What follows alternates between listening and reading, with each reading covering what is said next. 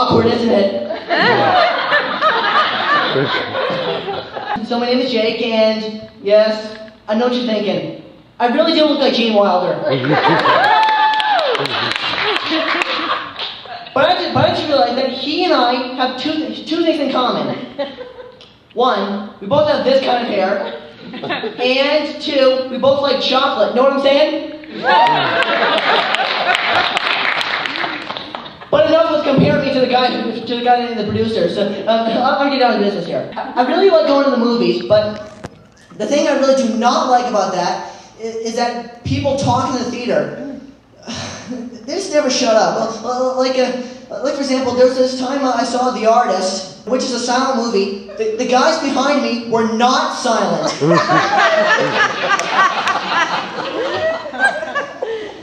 Man, couldn't shut up. I, I, I mean, first of all, you get that Liev Schreiber voice that says, "Please turn off your cell phones during during the movie."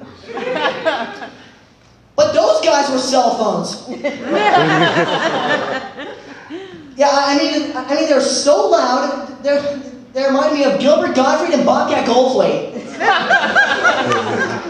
and and, uh, and they're being so loud. They're just they're just talking talking about something, something like this. Hey, I think this movie's gonna win an Oscar. I don't know how to go to the Oscars. I don't go to the Oscars either. Touche, guys, guys. Guys, do, do me a really big favor and, and shut up, or just be, or just, or just go inside the movie and be silent and can it. And then pretty soon uh, the usher came in and threw me out because I was being the loud one. How many of you in here like Loehmann's? so you think I like Loehmann's, huh? Well, I genuinely don't. Seriously. I'm a male, right? That's just a whole entire story for females. And uh, I would find that thing completely boring. I might hang out with Manly out there. And, and Manly, I, I hope I see, I hope I see one day.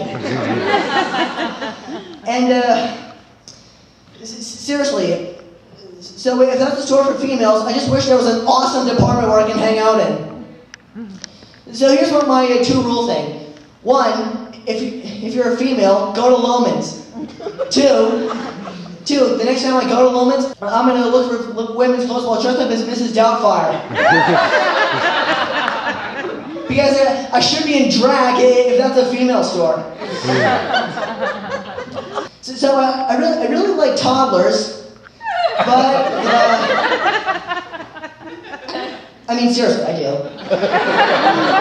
But the thing I don't like about them is that they do the number one thing whine. Seriously, that's all they ever do. Whine, whine, whine, whine, whine. They just never, they just never stop like, oh, come on, I want it, I want it.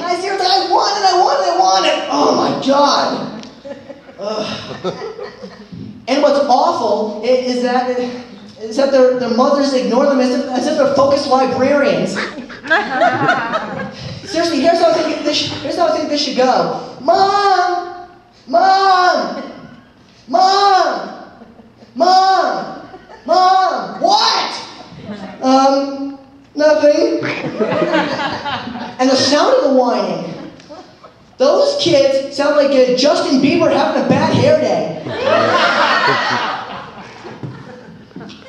yeah, and. Uh, and uh, another, another, like, well, an awful thing about whining toddlers, well, uh, compared to whining toddlers, is whining old people. well, if they should whine, um, th- this is how, uh, this is how I think this should happen. Uh, can't, can I have my apple juice, please? I want my apple juice. Can, give me some water. Uh, well, Will someone who works in a nursing home take care of those old people, and will their mothers take care of the toddlers? Okay. How many of you like and don't like reality shows?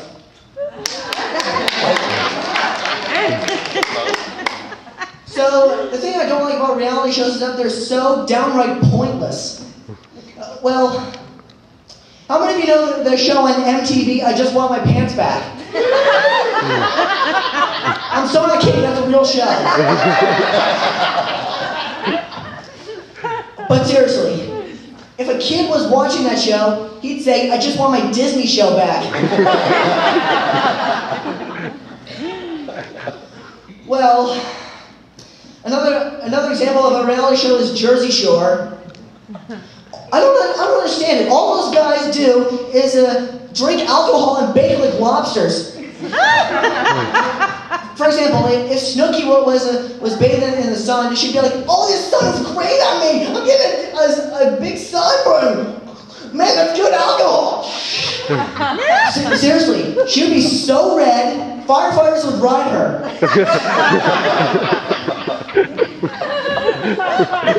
But I just want to tell you another, another example of a reality show, which is not on MTV, that I completely do not, that I completely do not like, is Wife Swap.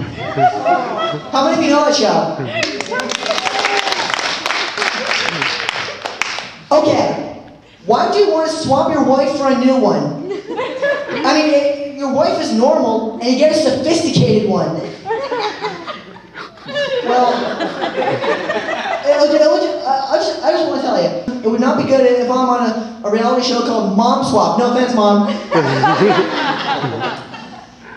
Seriously, it would not be good because the awful thing I might do is swap my mom for Helen Mirren. but seriously, why exactly would I want an Oscar-winning royal queen to be my mom? For example, if, if I was about to do something fun, she would go to me like, you can't have any fun. You've got to write these essays to get, to get into a college.